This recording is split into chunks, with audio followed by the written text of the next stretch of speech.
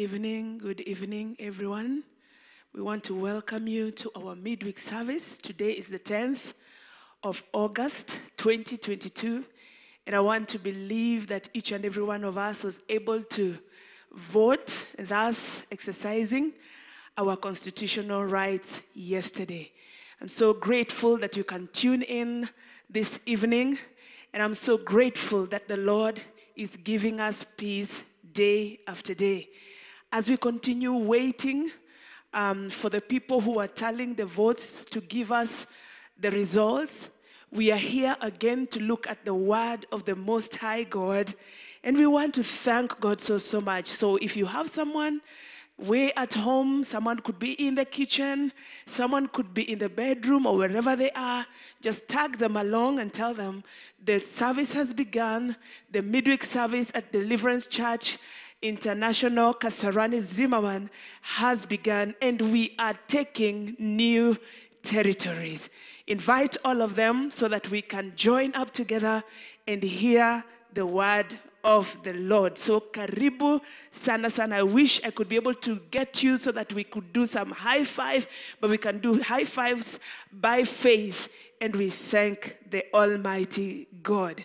And so we are going to pray together even as we get into the presence of the Lord and hear what the Lord has to say to us. I want us to take just a short while and worship the King of Kings and thank Him because He is a good God. Father, in the mighty name of Jesus, we are grateful this evening, oh God. We are grateful that we are the remnants of this season. We are grateful that you've given us a chance to be alive. We are grateful that, King in glory, you've given us a chance to be in your presence at such a time as this. We exalt you, King of kings. We magnify your name. How we love you, our Father. How we honor and adore you, Jehovah God. We thank you because of your promise, God, that our lives are in Christ in God. And so we can have peace of mind. And so, Jehovah God, we can have joy in our hearts, oh God, because of the things that you have done and the things that you are yet to do. We love you, King of glory. We give you all praise, oh God. I want to thank you for every viewer, wherever they are watching us from, our God, be it from the land of Kenya or in the diaspora. Father, I want to pray that you will be with them, our God, and that Jehovah God, the light of your word, will illuminate their hearts in the name of Jesus. Oh God, receive praise, receive glory, oh God, even this this this evening as we listen to your word, oh King in glory. We invite you, sweet Holy Spirit, to come and take charge of this service. We invite you, sweet Holy Spirit, to continue taking charge of our nation. We invite you, sweet Spirit, to continue taking charge of our families in the mighty name of Jesus Christ. And we want to thank you, precious Lord, because we know that in this season you have released to us the grace of progressing in the name of Jesus, the grace of taking up new territories in the mighty name of Jesus. We give you praise and we give you honor. Be glorified, Father, and be honored because we pray this in Jesus' mighty name. Amen and amen. Karibuni sana. It's great to see all of you online. It's great that you're tuning in because the Bible says in the book of John, chapter 6, verses 61 to 63, that the word of the Lord is spirit and the word of the Lord is life. And so today, as we look through the word of God, what in essence we are doing, we are bringing life to ourselves, life to our families, life to our nation, because it's only the word of God that is able to shape. Remember, the Bible says in the book of Genesis that God said and it became. He released his word, and everything that needed to become became. And so today, as we release God's word, as we speak God's word, as we hear God's word, all situations are going to become the way God would have them become in our dispensation. So, karibuni sana sana, karibuni all of us who are watching watching from Kenya, all of us who are watching in the diaspora, we love you, we love you, we love you, and we want to thank you. I want to take this opportunity also to thank God for our bishop and our mom who has give, have given us this chance to be able to bring forth the word of God. We pray that God will constantly be giving them strength even as they lead this ministry. And we thank uh, God for them so, so much. At this juncture, we want to um, go back to the Word of God. We began on a series in the month of August, and the series is Taking Territories, or if you like, Taking New territories.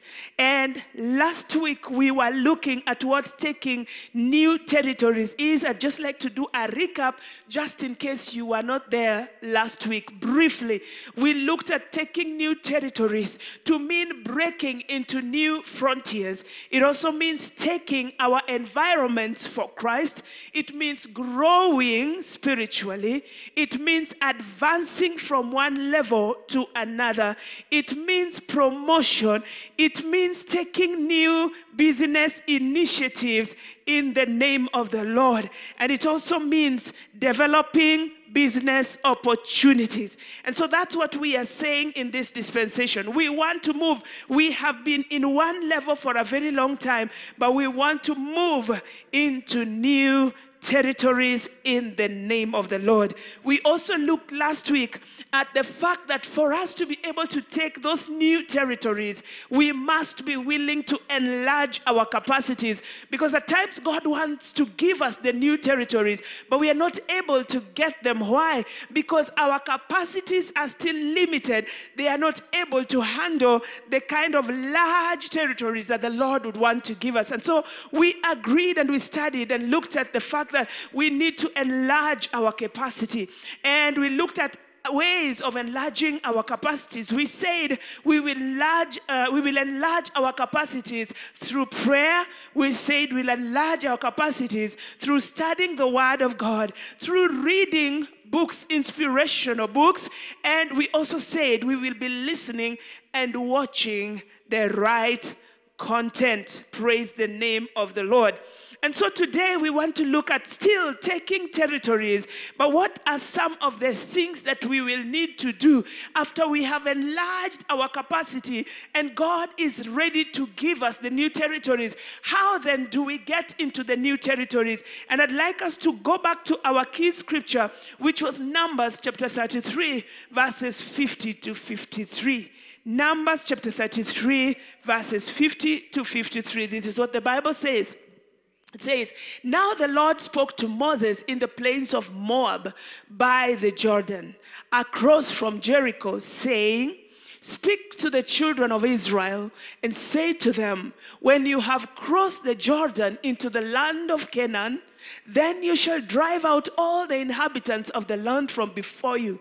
Destroy all their engraved stones. Destroy all their molded images. And demolish all their high places. You shall dispossess the inhabitants of the land and dwell in it, for I have given you the land to possess. We can also look at scripture in the book of Deuteronomy, chapter 2, verse 3. Deuteronomy chapter 2, verse 3. The Bible says, You have scattered this mountain long enough. Turn northward. You have scattered this mountain long enough. Turn northwards. In other words, what God was telling the Israelites, you have been moving around this mountain because as they started walking in the wilderness, as they were heading towards the promised land, they got into a place where Mount Seir is. And the Bible says that they tarried in that place for very long. And what were they doing? They kept on walking around the mountain for all those years. They were walking, just walking around the mountain. They go to bed, they wake up in the morning, and as they wake up in the morning, they're just walking around the mountain. And now the Lord is coming to tell them, You have walked round this mountain for too long. Now turn north turn north. And as we look at how then can we be able to take the new territories, the number one thing that I'd want us to understand is that you need to have a changed perspective. your perspective must change. In other words, the way you look at things will need to change. After you've enlarged your capacity, the way you're looking at things must change for you to be able to get into those new territories. In other words, you cannot be able to acquire new territories when you are still excited about being in a crowd. When you are still excited about psychophancy, you cannot get into the new territories. So, the first step in changing our perspective is you must step out of the crowd so that you and Jesus will be the majority. It won't matter what the rest of the people are saying, but it will matter what the Lord Jesus tells you to do. So you have to step out of the crowd so that you can hear the Lord Jesus clearly. Remember, when you're inside of the crowd, there's so much noise you'll be hearing. Some of them are murmuring, some are whining, some are laughing, some are shouting. And in the midst of that noise, you may not be able to hear clearly what the Lord Jesus Christ is telling you to do. So you have to step out of the crowd as you change your perspective. And remember, the Bible says you have scattered. And so the, the word, the key word there is you not us, not us. No, it is you. You have scattered this mountain for too long. Now turn north. You is the operative word in the text that we've read in the book of Deuteronomy, chapter 2, verse 3. If you want to get out from doing the same thing over and over again, then it starts with you. It is you who will tell yourself, I cannot do this any longer. It is you who will tell yourself, enough is enough. I have moved around this space for too long. Now, most of us, when we find ourselves in situations that we don't care to be in, we get to a place where we engage in a blame game. We want to blame everyone else but us. We want to complain about our parents who never took us to school. We are complaining about our husbands who are a bit harsh. We are complaining about the employer who is not promoting us. We complain about everyone else. Why? Because it's normally sweet to blame someone else. But we need to understand that if we have to get to the new territories, it will begin with us. Your employer may never change, but you will still need to move out of the crowd so that you can get the new territories. The background that you came from may never change or will never change. It is in the past and it will never change. But you tell yourself, it is me who is alive here. It is me who needs this change desperately. And so I have to move out of this crowd and do what it takes for me to take the new territory. So the real deal is that it is about you. In other words, it's what you think about yourself. Therefore, we have to change the way we think. We have to change our perspective. We have to change the way we are looking at things. Remember, the Israelites were in the wilderness because of their disobedience. God had already spoken and God had already told them there is a promised land, there is a frontier I am giving you, there is a territory where I want you to be in. God had already released it to them. By the time God was bringing them out of Egypt, the promised land had already been set aside for them. But because of disobedience, they kept on walking around Mount Seir. And many times it's because of our disobedience, because of our fear, that we keep walking round a mountain, round a particular um, area for too long, round a particular situation for too long. Yet God has already spoken. Bwana.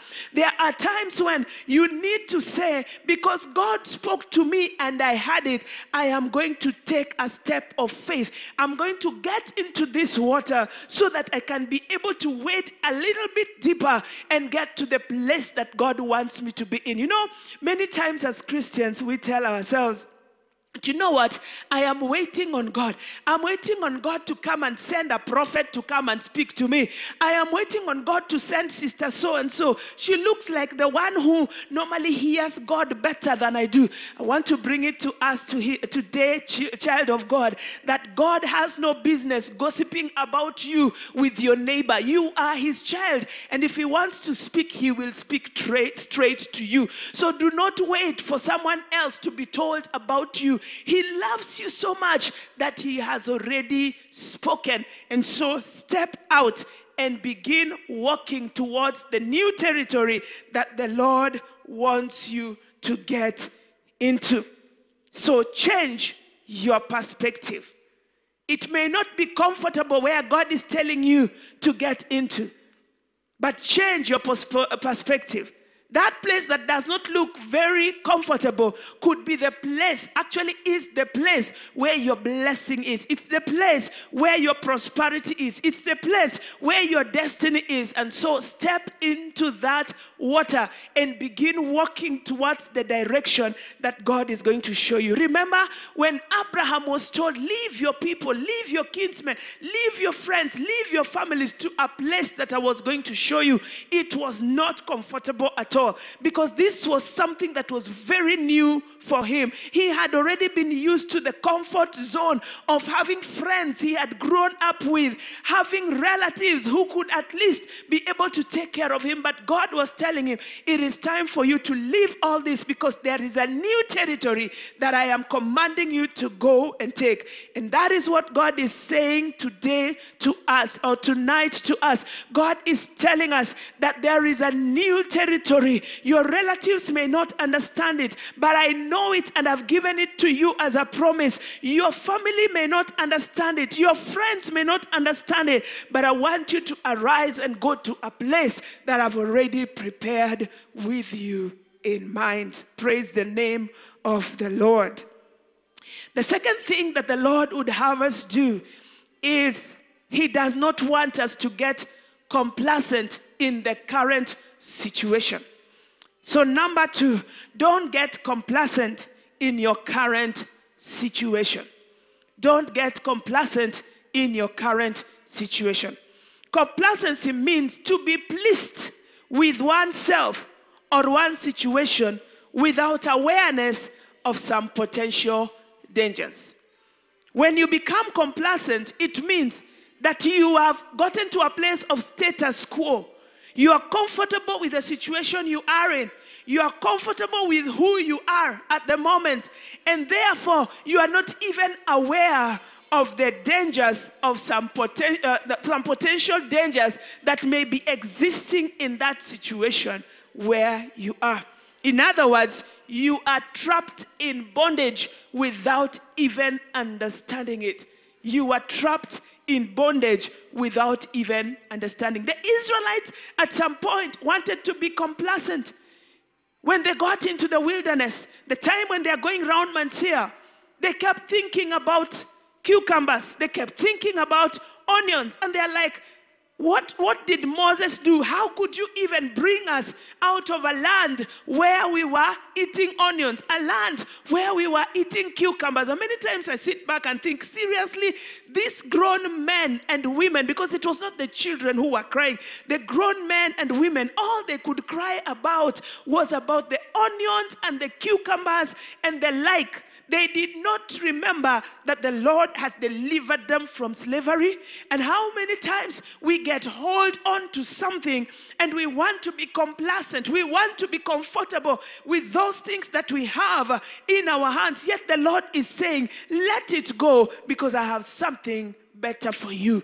I have a new territory that is way much better for you. It is time for us to stop being complacent. It is time for us to let go of the old situation we have been in for a better territory that the Lord is giving to us. Praise the name of the Lord.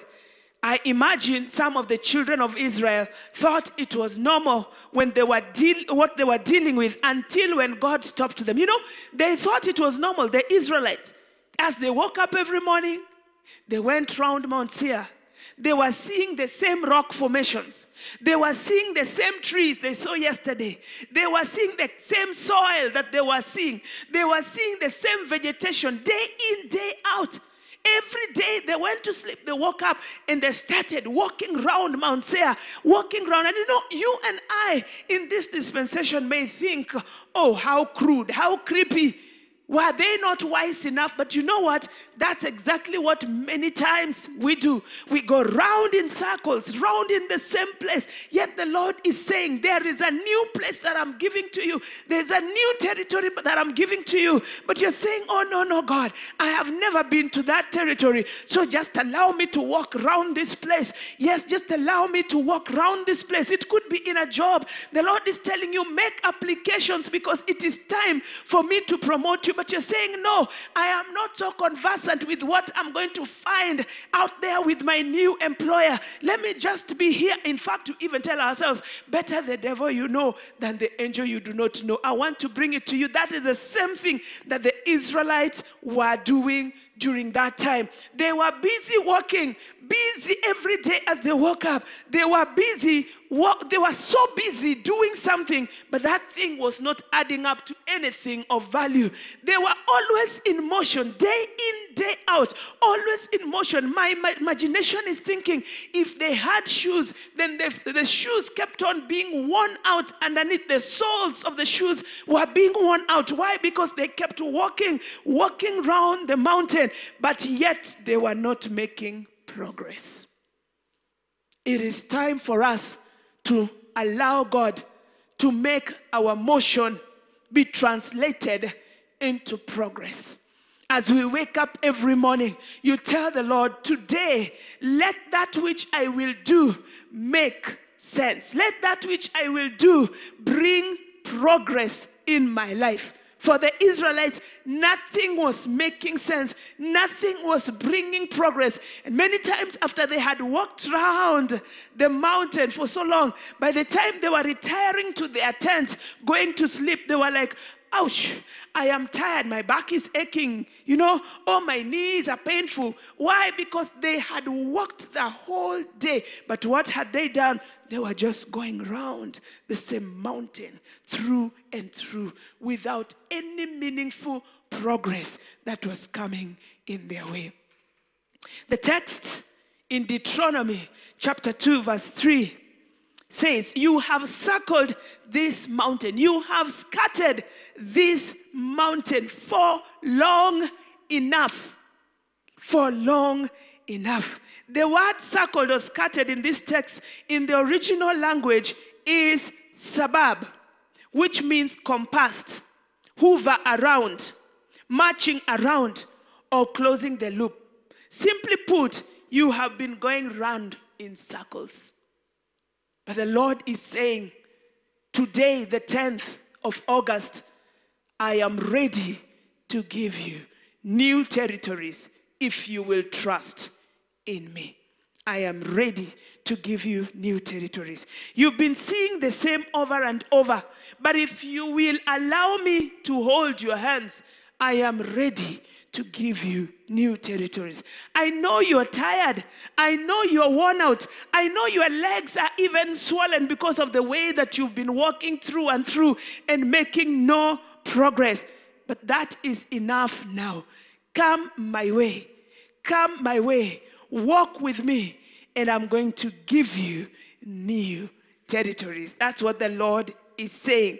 We have gone round so much. Maybe it's in business. We have tried doing that business. One business, it collapses. The other one, it collapses. This time round, before you get into the next business, please involve the Lord Jesus Christ. Ask Him for wisdom because He is wisdom in Himself. Ask Him for wisdom so that He can walk through with you. He will cause you to break camp so that He can take you to the new territories. He will stop the drama in your life so that you can start getting into the new territories that He is talking about. We must say no to status quo. We must say enough is enough. I am not going to settle for this kind of low living. I am not settling. We must say that we are not going to be familiar with our circumstances. We are going to move to the next place that the Lord would have us move. We must come to a point where we are going to say that our motion must result into progress. Our motion must result into progress.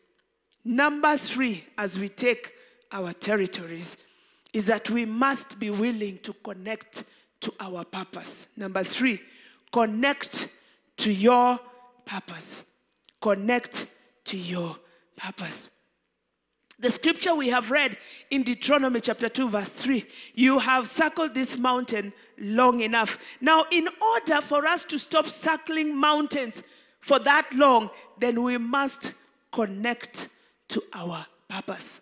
You know, when you're circling around um, a place for too long, it means you're living a purposeless life. Your life is without purpose. And a few weeks ago, I was talking to a young man who told me, you know what, something has changed in my life.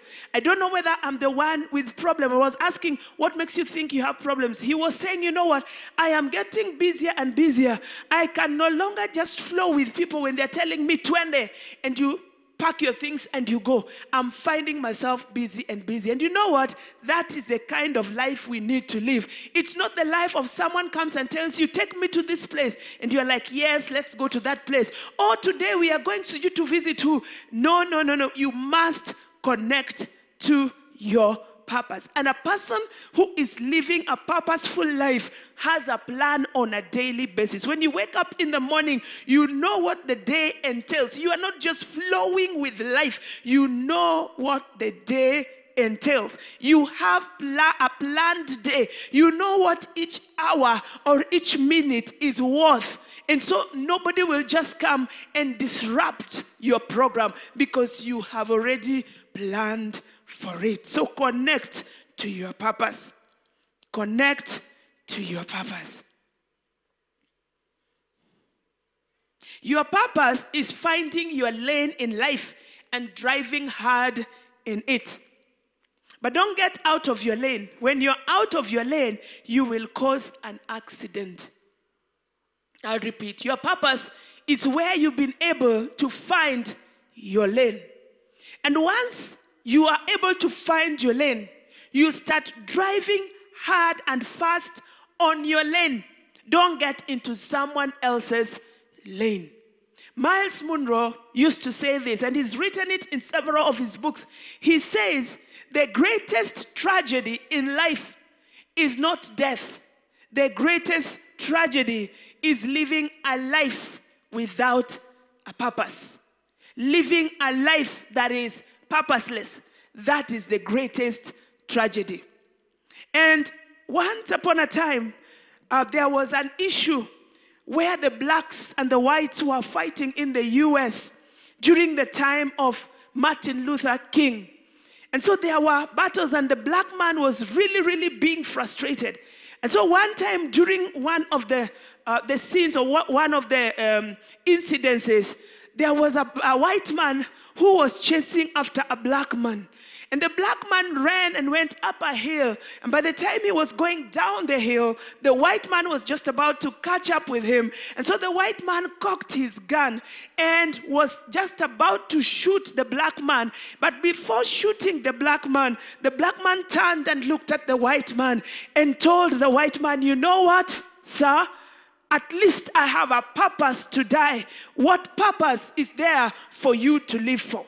And immediately he was shot and he died. He had a purpose to die for.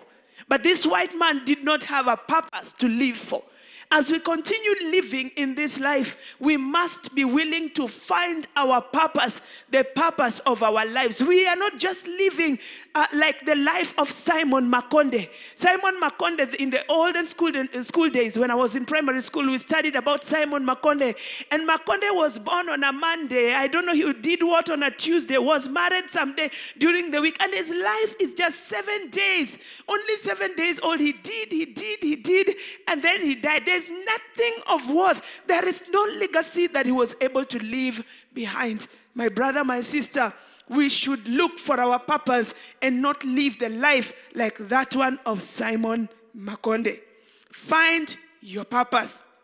And after you found your purpose, it will help you find your lane and drive hard right inside your lane. Do not get into someone else's lane. How many how do we get into people's lanes? You look at brother so and so and you realize they are prospering as they're selling cars. And so you decide you are also going to start selling cars. Yet that was not your purpose.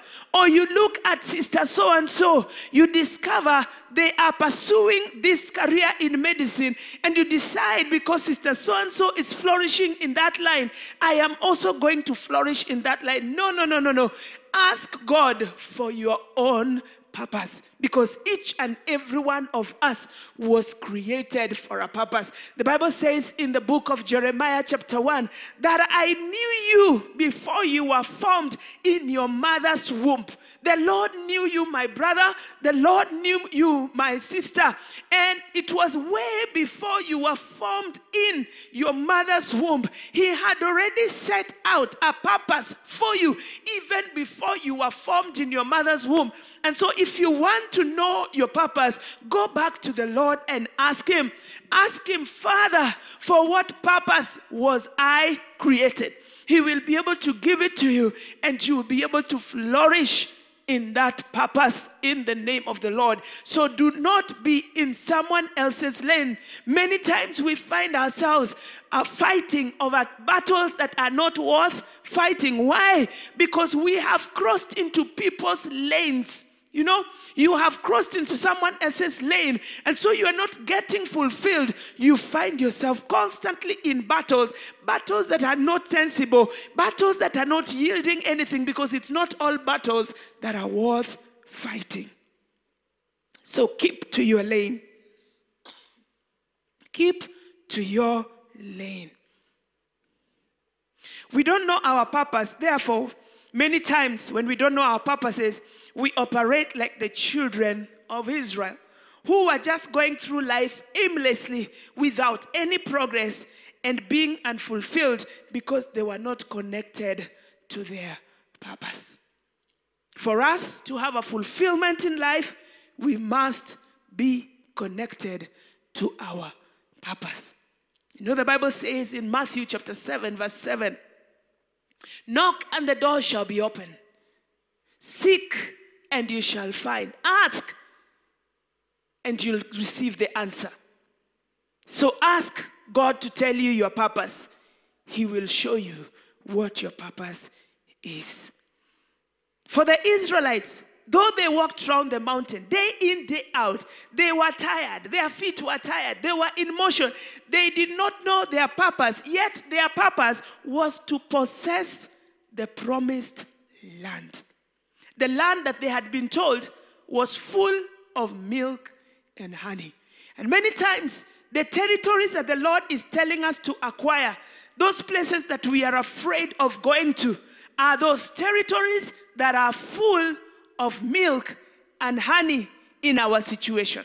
Those are the territories that the Lord is telling us. He is telling us, stop marching on the same spot. I want to take you to a new territory. That territory has milk, it has honey, it has all the fruits, it has all the goodies. But you know what? We are still holding on. We are still holding on to the bone. We do not want to go and be given the beef or the meat, the steak that the Lord wants to give us in the new territory. The Israelites were Purpose was to possess the land, the land that was flowing with milk and honey. To possess is not a passive word. Praise the name of the Lord. When you look at the word possess, the Israelites were to possess the land. Possess is not a passive word. Possess is an active word. In other words, they had to take it. It was going to require work. However, they disobeyed and paid the penalty. When you are not operating in your purpose, you are disobedient and you will pay the penalty. When the Lord says, I want you to possess new territories, it will not be a walk in the park. No, no, no, no, no. It can never be a walk in the park. It will require work. It will require hard work. In other words, for you to move from a low place to a place that is high requires energy, it requires work. For the Israelites to possess that land, they needed to work.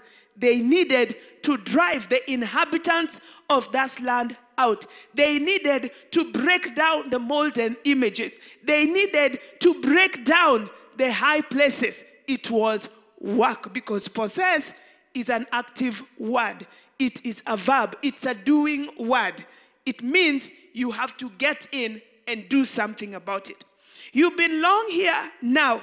It's time to connect in your purpose. Your purpose is not to die in the wilderness, but your purpose is to prosper in the promised land. My brother, my sister, as you watch me today, even as we await for the announcement of who is the new president of Kenya, I want you to know that apart from electing a new president and celebrating, you too have a purpose. His purpose, the one who will be the president, will be to lead this nation. But what is your purpose as a lady? What is your purpose as a brother? What is your purpose as a believer? Your purpose is not to die in the wilderness. We have been complaining, prices have gone high. It's like we are going through a wilderness, but our purpose, believers, is not to die in the wilderness. Our purpose is to prosper in the land. And so arise and stop dilly dallying. Arise and stop dilly dallying. Let's go for it. Let's go and conquer our territory in Jesus' name. Finally, after you've connected to your purpose, we need to get to a point where we are able to celebrate. We celebrate small breakthroughs. We celebrate. As I come to an end, as I come to an end,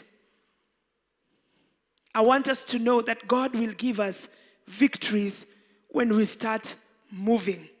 Some of the victories will be smaller, some will be looking so minute. It's like you're really wondering is this thing worth celebrating? But as you celebrate, it's like you're pumping more energy to yourself to get to the highest heights. I'm reminded of the times when people go to climb Mount Kenya, and we have different summits in Mount Kenya. When they get to the first summit, they tarry there a little while and they celebrate.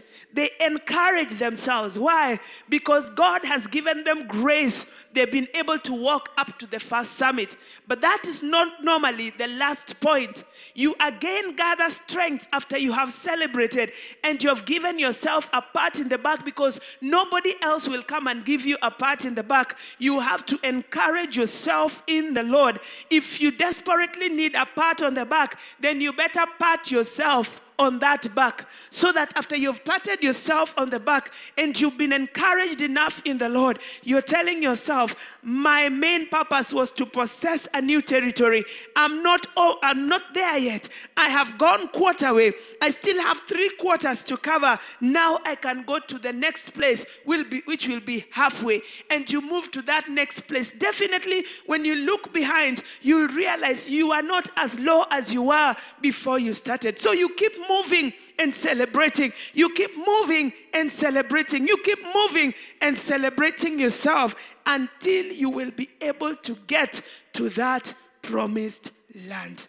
Each one of us has a promised land. For some of us, the promised land is concerning our careers.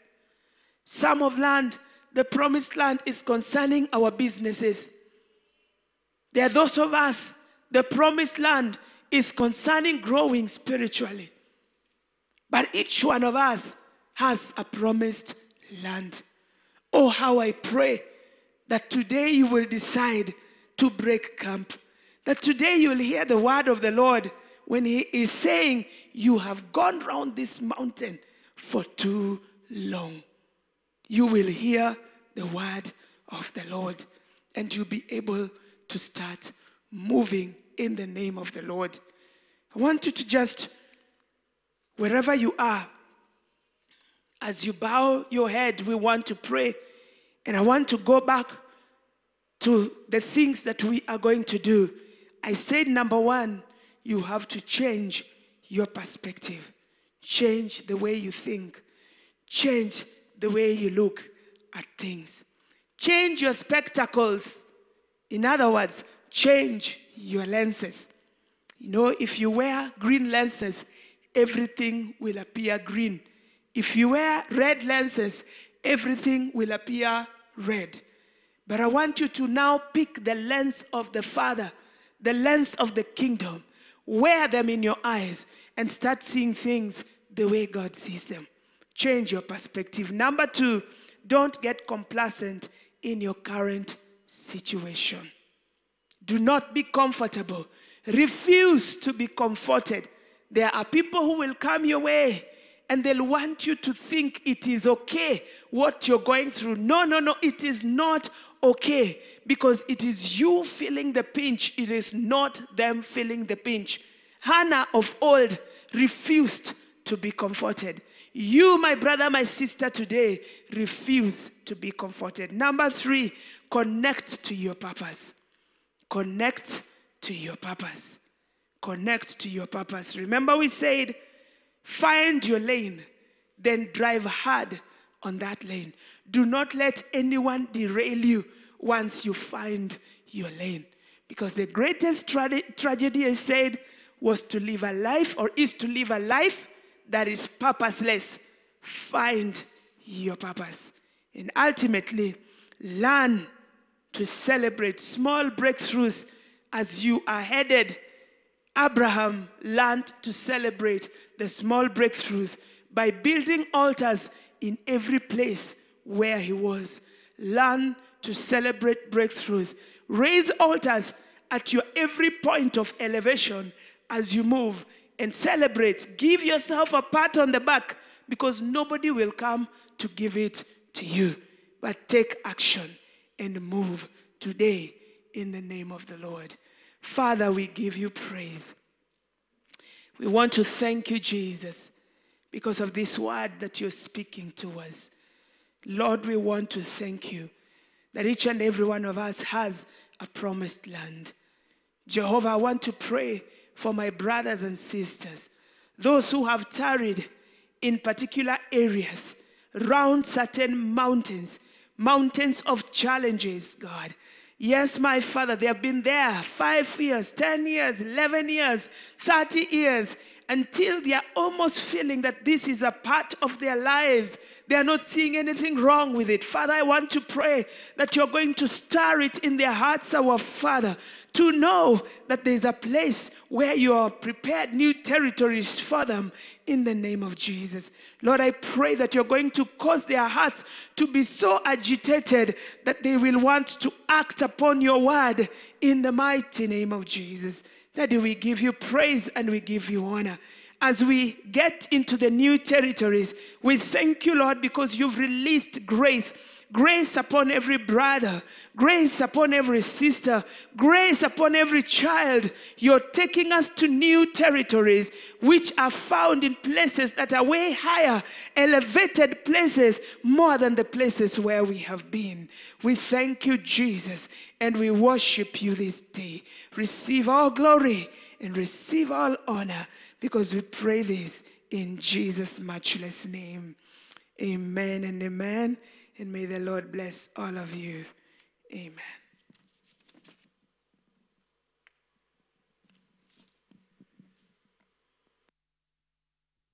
Amen. Hallelujah. Such a word. And what my take home is it's okay to not be comforted. Don't be comfortable with where you are, but make an effort to move forward. Yeah. So it's time to give. Our M-Pesa pay bill is 864231. The account number is the purpose of your payment. All right. 864231. Account is the purpose of your payment.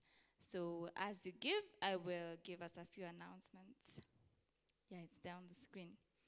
So we have the YBS Youth Bible Study on Friday, right here at the main cathedral, DCIKZ, from 6.30 p.m. to 8 p.m. at Tyrannus Hall.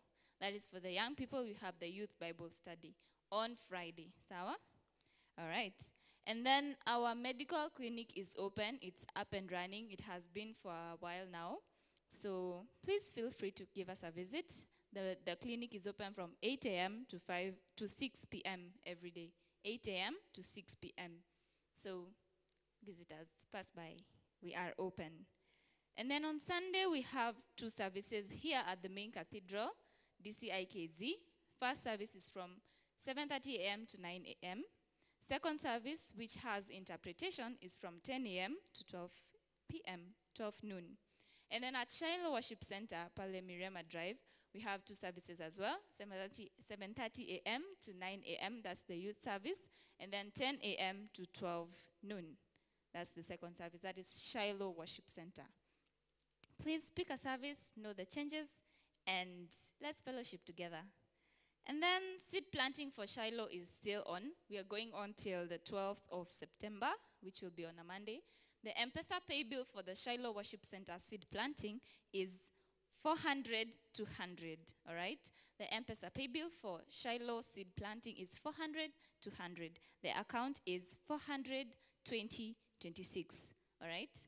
Pay bill is 400 to 100. Um, account is 420 26. That is for the Shiloh seed planting, which will go on until Monday, the 12th of September. And then we have worship night this coming Friday. It will be the 12th. We have Ibada worship night. It will be at the Shiloh Worship Center, Mirema campus, which is also a campus of DCIKZ.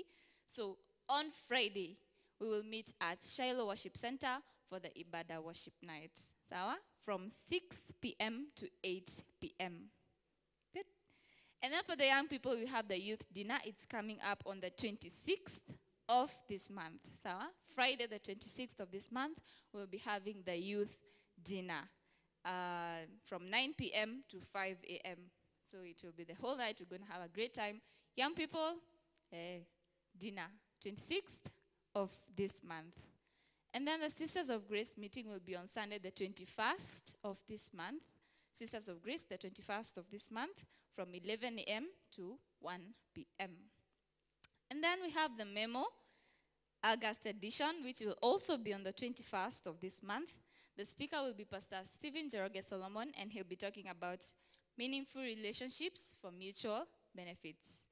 All the men, please plan to attend. So we've come to the end of our service today. Thank you so much for tuning in and being with us throughout until now. Um, yeah, so let's pray for the giving as we conclude.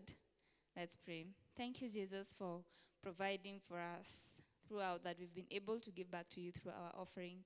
I pray, God, that you will continue to provide for us because we know that you are our provider. Thank you even for allowing us to be here to connect, to fellowship together, and to listen to your word this Wednesday. As we um, go about our week, God be with us, protect us, guide us, and lead us. In Jesus' name, amen. So you are my neighbor as we say the grace. So now may the grace of our Lord Jesus Christ and the love of God and the fellowship of the Holy Spirit be with you and your family now and forevermore. Amen. See you Sunday.